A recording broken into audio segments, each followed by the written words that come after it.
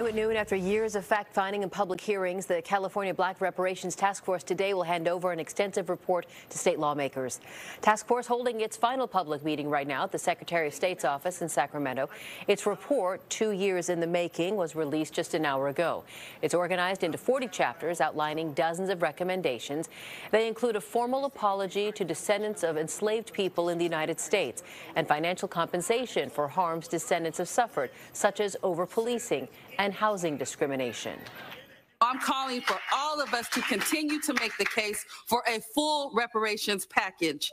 We are not asking for performative justice, but demanding reparations in all categories satisfaction, restitution, compensation, apology, and guarantee of non repetition. After the recommendations are turned over to state lawmakers, they'll be responsible for turning them into legislation, which will have to be approved by lawmakers and the governor before reparations are made.